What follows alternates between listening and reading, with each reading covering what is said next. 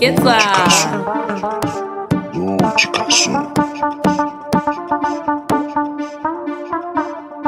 yo tamitachongeza ya ufikiri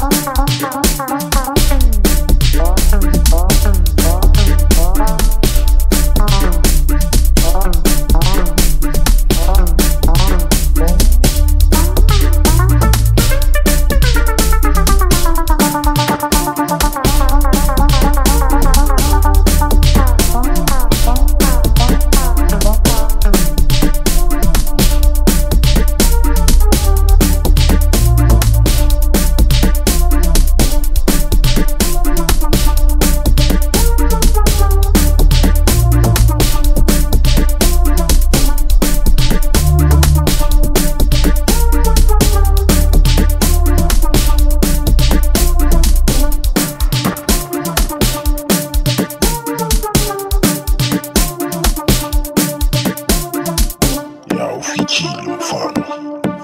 barikishunyama kubezela kama mafiasika ashakupa nakena